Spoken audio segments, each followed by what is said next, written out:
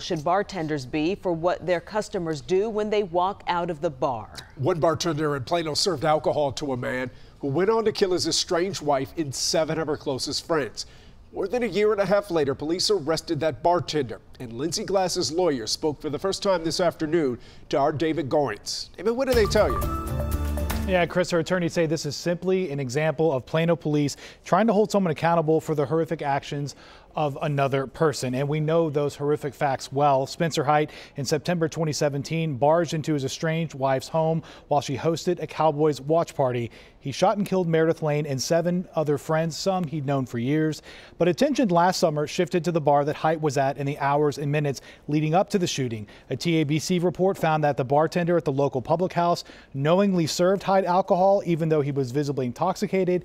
And text messages showed that Glass, the bartender, believed that Hight was drunk and even mentioned he was displaying a knife in the bar also against state law. Today, one week after her arrest, her attorneys say Plano detectives are trying to blame a bartender for the worst mass shooting in city's history.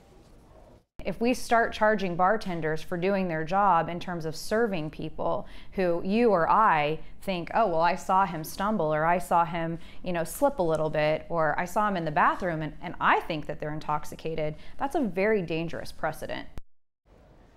We should also point out the mother of Meredith Lane uh, has Hight's estranged wife told WFAA that, that she doesn't think that criminally charging the bartender is the right way to go here and saying the only person responsible for what happened back in September of 2017 was Spencer Hight.